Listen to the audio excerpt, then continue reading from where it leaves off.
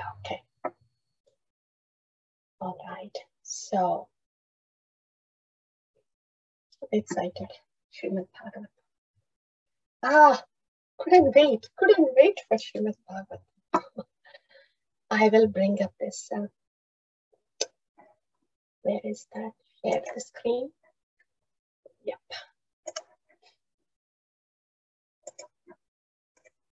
Srimad Bhagavatam.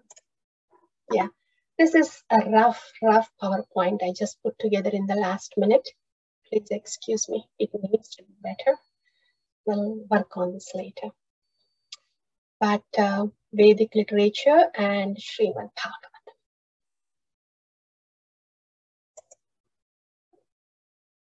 All right. Okay. So in the very, very beginning, when there was nothing present, when there was nothing present, when the creation was not there yet. So who was that that was present? It's a very difficult question, but please guess. Who was that? When there was no one, there was just somebody that was present. Huh? Yes, please. Lord Krishna.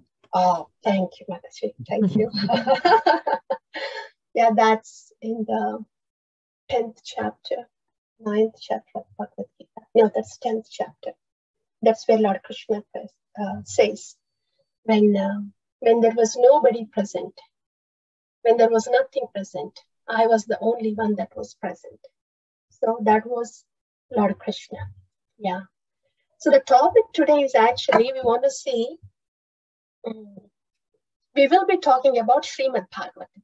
But before we talk about Srimad Bhagavatam, we want to see what the origin of Srimad Bhagavatam is um, and where it fits in in the Vedic literature. So that's what we will be discussing today. If the Srimad Bhagavatam is authentic, if so, where, it, where is it that, uh, that is fitting that where is it fitting in the Vedic literature?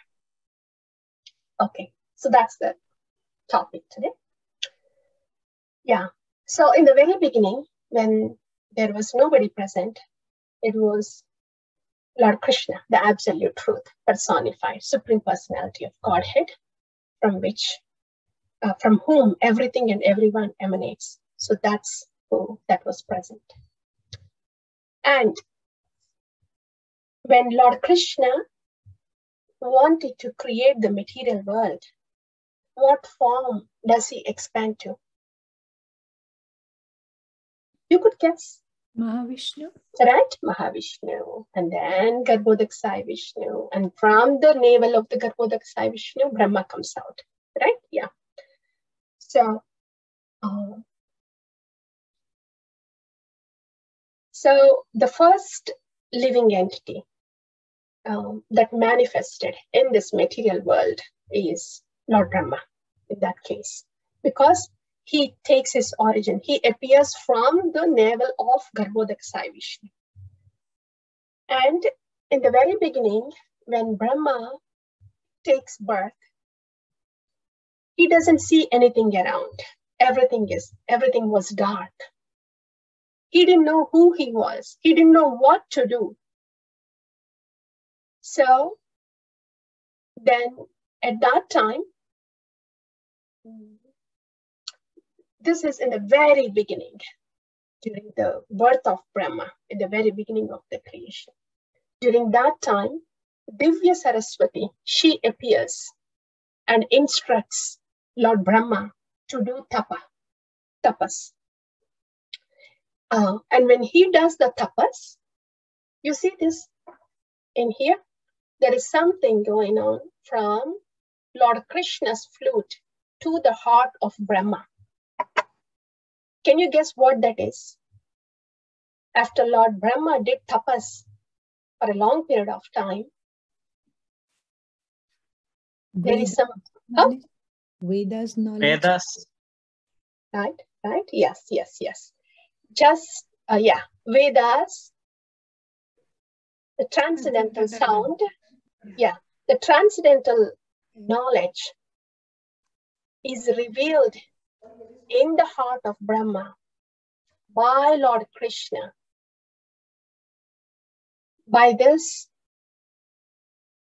the song of the flute, but this particular sound from the flute that is entering into the heart of Brahma is Kama Gayatri. Have you ever heard that Gayatri is the mother of Vedas? Even before all these four Vedas came into existence, Gayatri is the mother of Vedas. That's where all these four Vedas came in. And in specific, this is Kama Gayatri. Kama is desire, and Lord Brahma had a desire to do, do the creation. And he was looking for revelation of how to do it. And he was also looking for more information about what's beyond this uh, material realm. So there was a desire in Brahma to know about beyond this material world and also to create this material world. So any desire is called Kama here, and that's why this is called Kama Gayatri. So this Kama Gayatri is given to Lord uh, to Brahma by Lord Krishna. This is, if you notice this, this is revelation. So Lord Brahma is enlightened with this transcendental knowledge that uh, that uh, uh, transcendent knowledge that came from the flute of Lord Krishna to the heart of Brahma, Kama Gayatri. Okay? And after that revelation happens, when Lord Brahma speaks, those are Vedas. Right? So the revelation is Kama Gayatri, but when the revelation is spoken in words by Lord Brahma, that is called Veda. Okay. So, when Lord Brahma spoke, it was one Veda only. It's just a flow of information. Veda means the root word in Sanskrit, vid means knowledge. So Lord Brahma realized it and he had the revelation and that revelation is coming out in the form of words knowledge that is only one veda at that time and uh, some authorities say that is yajurveda that's the first veda and some say it is rig veda since it's the oldest one so that one veda that was coming out from the words of brahma was most of the times I read it as Yajurveda, so I would just say it as Yajurveda. That was the only Veda that was present in the beginning. Okay. And we will come to, uh, we will discuss about Shruti and Smriti later.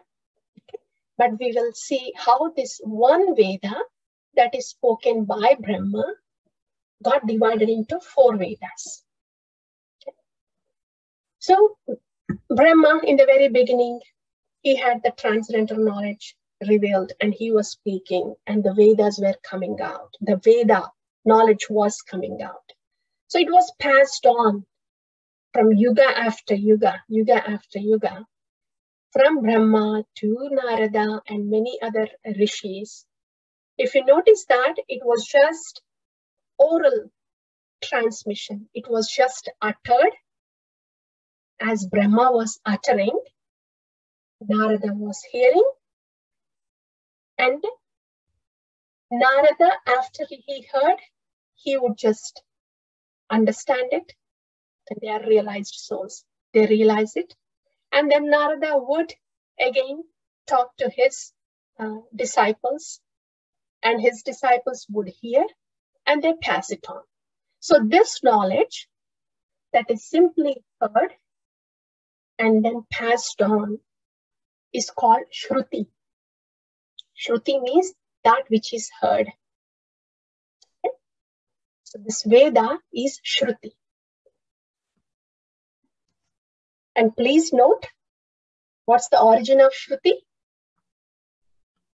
Bhagavan. Bhagavan is the origin of Shruti, right? We will see down the road. For Smriti, Bhagavan is not the origin.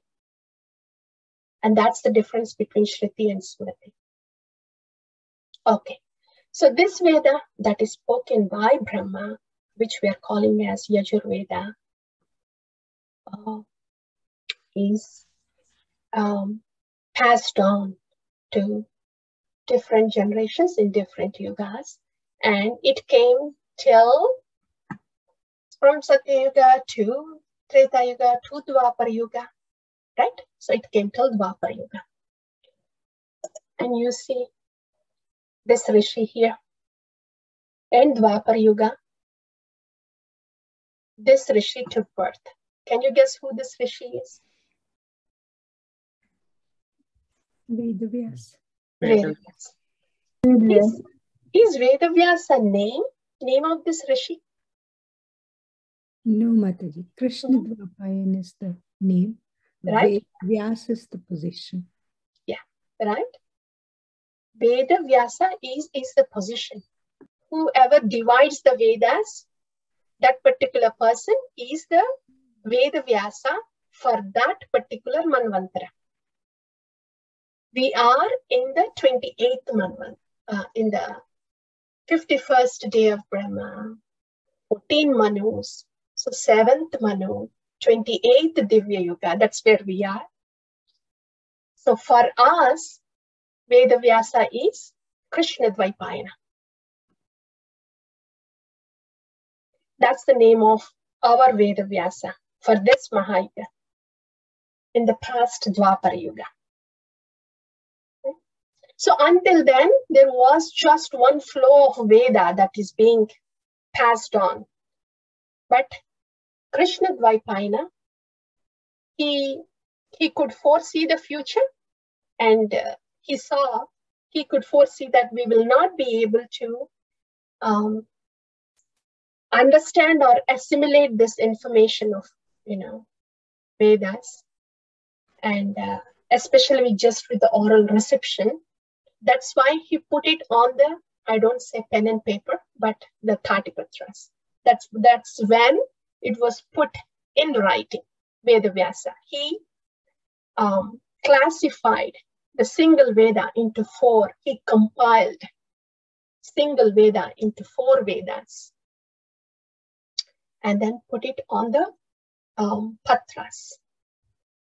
That is the greatest contribution of Krishna Dvaipayana Vyasa. Until then, it was said and was heard, but was not read.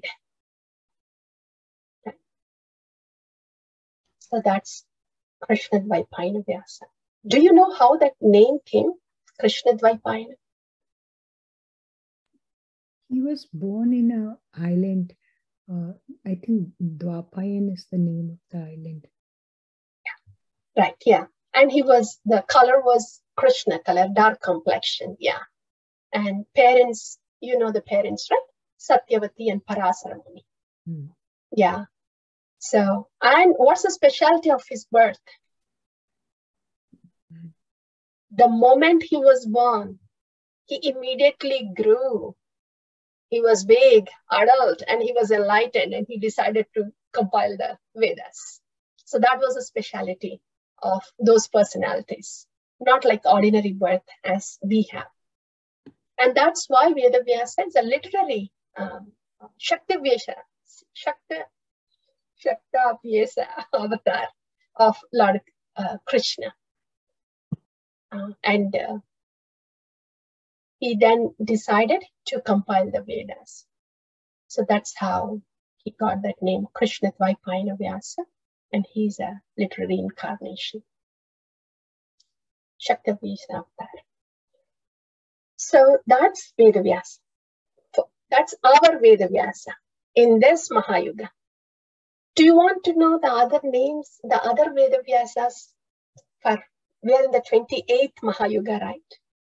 What about the other 27 Vedavyasas? Would you just want to know the names quickly? Yeah? Yes, Yeah. This, we are in seventh Manvantara, 28th Divya Yuga, right? In the very first Divya Yuga, Lord Brahma himself, he did that. He was Vedavyasa. He occupied that post of doing the Vyasa of Veda, compilation of Veda, Brahma.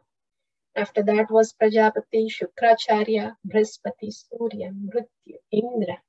Interesting, Indra was also Vedavyasa at one point.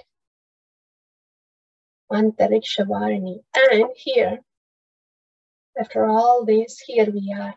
Please uh, um, ignore this numbering here. It is supposed to be 15 here. I tried to fix that 15. It took a few minutes. I gave up.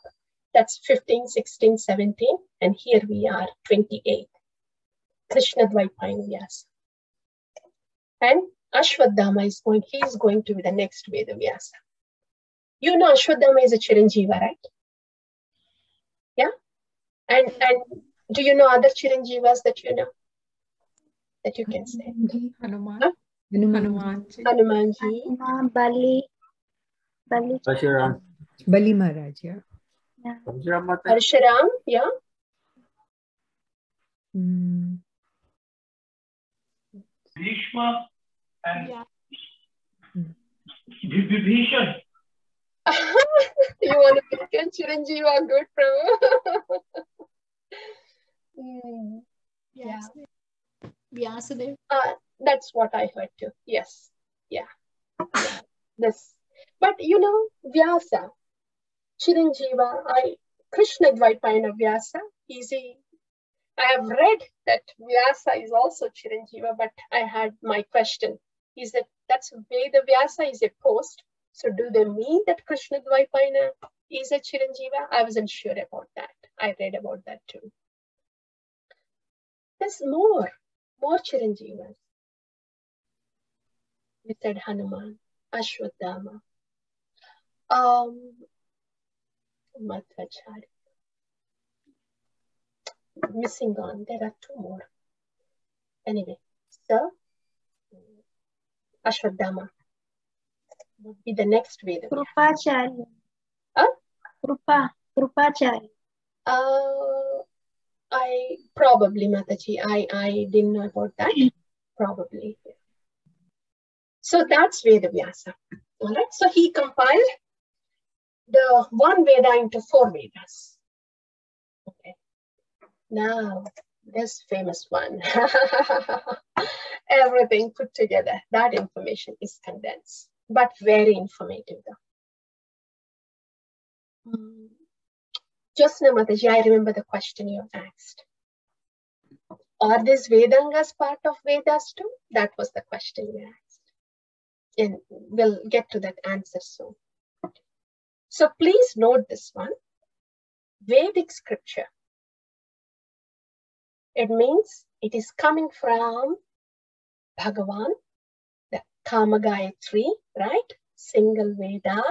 This is where it is coming from. So this is a stream of Veda that is coming from the mouth of Brahma after he realized the Kama Gayatri, right?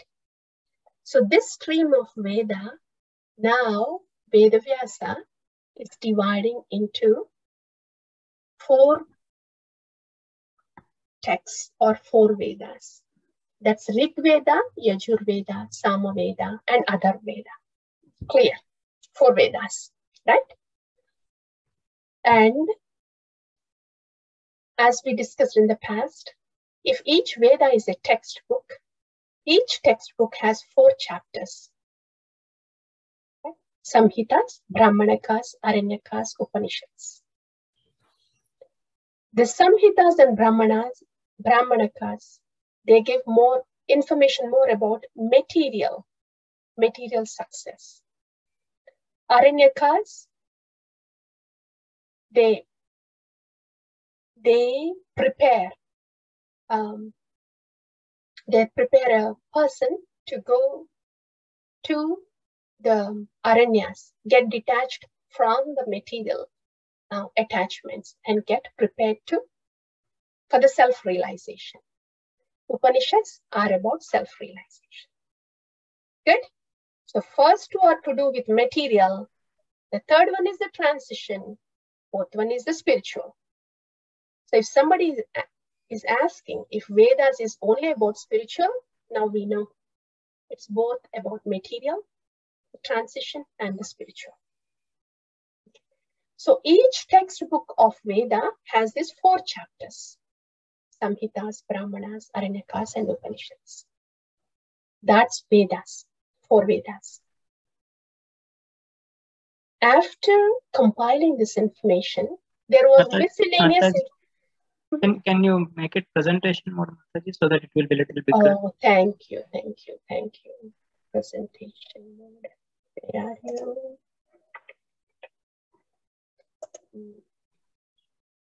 So you can click on that slideshow, Mataji. Maybe that will keep changing. Slideshow. I,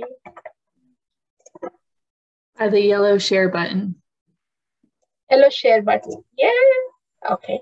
Save name before sharing. Save. It is just sharing No, something. no, no, next next to the share button, it says slideshow. Slideshow. Sorry, I was referencing so that uh, I would follow. is that okay? Yes, Mataji. Thank you. Yeah, Thank you. Are you able to see it well? Oh, this is so much better. Thank you, Prabhu. This is eye friendly now. Ujjvala Rasajna is currently host. Reclaiming host may disrupt break room, breakout rooms, polls and screen share. Uh, reclaim host or stay co-host.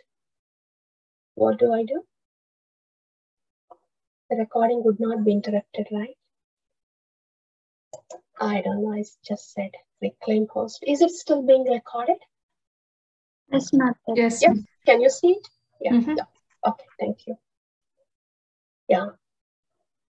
So one stream of Veda is being compiled by Veda Vyasa into four Vedas here. If Vedas are considered as textbooks, there are four chapters in each Veda. After doing this compilation, all the miscellaneous information that is still part of this Vedas is put into this category here. You see? Puranas and Itihasas. And that's why they're called fifth Veda.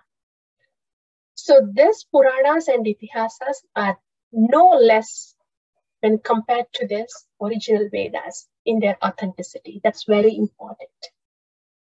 Because people tend to put down these Puranas, but um, this is these are called fifth Vedas. The Vedangas here. Oh, by the way, the next one, Upavedas, like Dhanur Veda, about, about the archery, Ayurveda, about the medicine. All these Upavedas are also part of the Vedas. Please note. Okay. And Vedangas Vedangas, imagine this Vedangas as a toolkit. And these are all different tools here. Kalpa, Siksha, Vyakaran, Nirukta, Chandas, and Jyotish. With these tools here, we will be able to read the language of Vedas. Okay. So if Vedas are having formulas, these tools help us read the formulas. And the other example would be, if these are textbooks, then these are like alphabets. If we know the alphabets, we will understand the language of textbook like that. Okay. So those are Vedangas. This is also part of Vedas also. Okay. Like, for, like for a manual, you know, for a machine, a manual comes with it. It tells how to operate the machine, right? It comes from the manufacturer's office. Same thing here. If this is a machine, this tells us how to operate that machine. Okay? So this is all Shruti. Then what is Smriti? Smriti means which is remembered. If you remember, we just said that Shruti. What's the origin of Shruti, please? Hearing. Bhagwan. Origin, where is it? Origin is Bhagavan. Bhagavan, right? Now please tell me, what is the origin of Smriti? We will know, first we will see what Smriti means, then you will figure out. Smriti has information about um, the dharma and uh, different uh, procedures to do different yajnas. I'll give you a clue here. In this shastras here, which are ritual shastras, means procedural, procedural information. Look at here, Manu Samhita, right? So where is this coming from? Manu Samhita is coming from Samhitas probably in the Yeah, Samhita is compilation, but who is the personality here? Manu, Manu. right? It could be Swayambhu Manu, any Manu. But remember, there are 14 Manus in each day of Brahma. So they are not coming from Bhagavan. Hmm. So Manu has compiled in order to create order in the society. He has compiled some information so he can rule the kingdom based on those rules that he has put in, like that. So these are different um, procedural information or ritualistic information or information about, you know, how to keep the orderliness, like that. So all this information, this procedural information, is given by an empowered personality, but not Bhagavan. Right?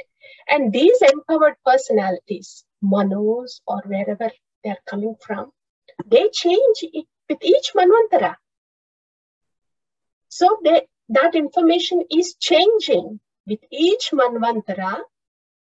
The Smriti information can change. This whole department can change within the day of Brahma or within the life of Brahma. This information is subjected to change, minor variations. But the information that is coming here, the Vedas, the Shruti, this information remains the same time after time. After each Manvantara, after each day of Brahma, all this information, Shruti remains the same. That's why it is said to be eternal, unchanging, Shruti, because the origin is from Bhagavan. Smriti, the origin is from an empowered person. right? And the empowered personalities, they come and go. They are empowered, but they come and go. They are not everlasting. Yeah. So, uh, what does Smriti consist of? We have just seen procedural information. All right. Next one is tantras. Hmm. How do I put it?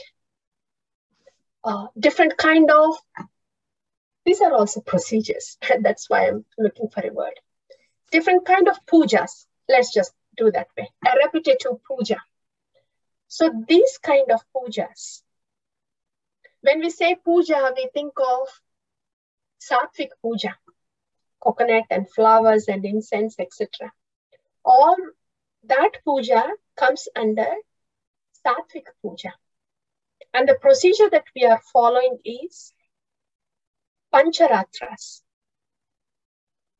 Okay, that's Satvika Puja. But there are different uh, rituals. Yeah, rituals. Let's use that word rituals. This is all procedural information. This is all ritualistic information. If the rituals are done in the mode of ignorance, they get, you know, like black magic, evil powers. Any ritual repeated again and again with an intention can give us some kind of power. If that rituals are done in the mode of ignorance, they get evil powers like black magic. If the rituals are done in the mode of passion, they get powers for material success. If the rituals are done in the mode of goodness, they get all the power of goodness. They get the power to transcend the modes. That's the beauty of the rituals in Sattvic. The rituals in ignorance and passion, they may get the power, but they are struck in this material world by the modes. They are chained to be here. But the rituals done in sattvic mode, in mode of goodness, they give us the power to cross over the modes and enter into the spiritual realm. So the Pancharatrika Agamas, the worship that is done at the temple, the deity worship that we do, is all, they are all the rituals in the sattvic mode. They help us to be in that mode of goodness. And it is very easy to get into transcendence from the mode of goodness. That's the power of the rituals in sattvic mode. Okay, so this is about rituals. Again, this is Smriti. When Narada is speaking about the procedures of sattvic rituals, that is called Narada Pancharatra.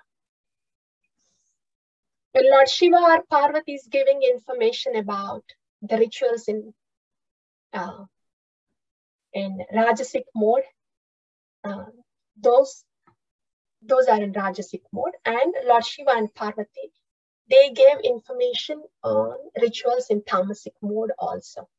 Reason why, that will be a different topic, but if you not, notice here, Lord Shiva and Mother Parvati, they are, they are uh, somehow guiding those people who are in the mode of ignorance and passion, and they will slowly bring them to sattvic. Ultimately, when they are ready for it, then they will bring them to sattvic mode. But uh, those are the deities uh, that gave information about the rituals in Tamasic and Rajasic. Okay.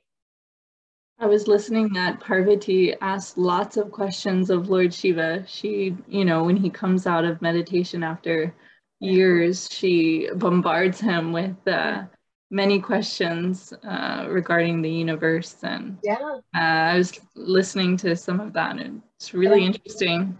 Right. Actually, Mother Parvati, she asked uh, uh, Lord Shiva to recite Srimad Bhagavatam also, actually, Ramayana also. So there are many wonderful conversations going uh, back and forth between that special couple, Mother Parvati and Lord Shiva. But um, uh, they take they take these forms of Mahabhairava and Bhairavi. That is to um, to rescue those souls who are in ignorant mode and slowly bring them to goodness. That's their specialty, Mother Parvati and Lord Shiva.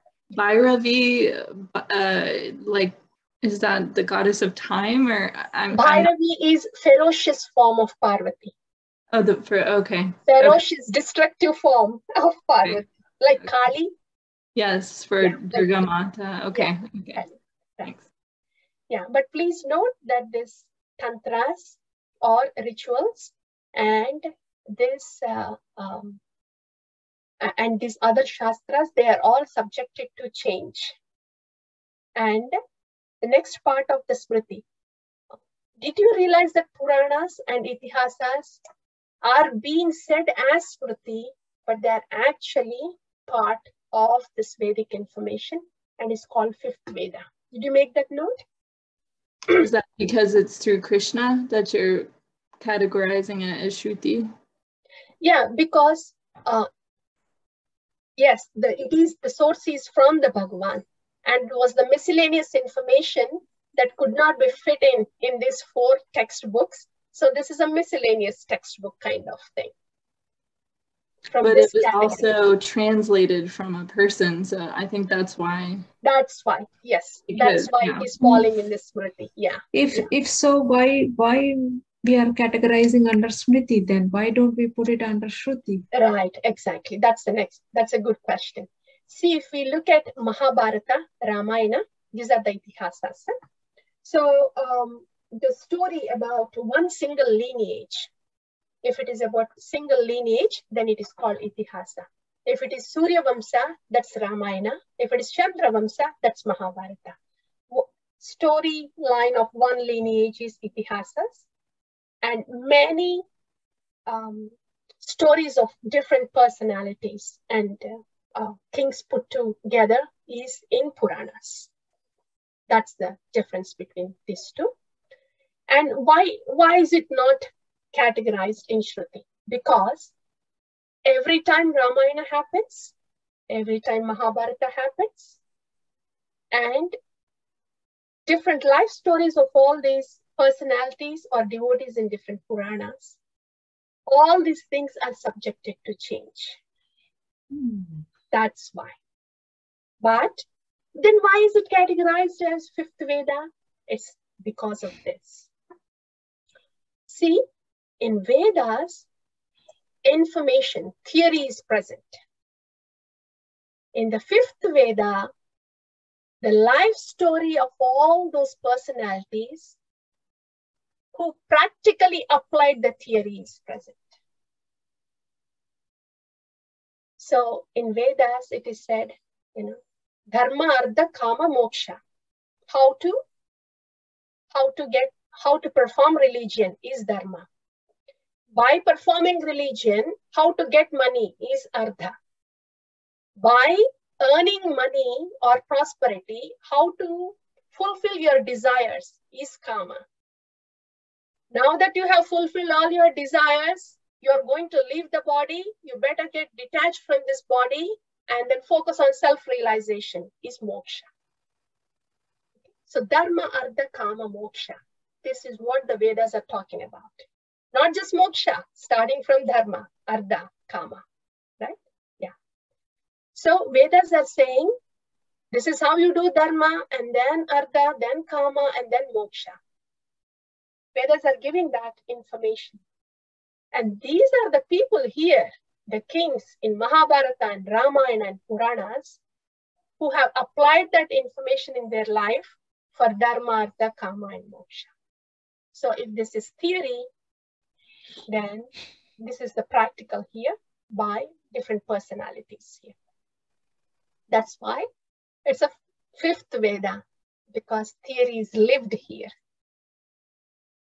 But since these are subjected to change, it is part of Smriti.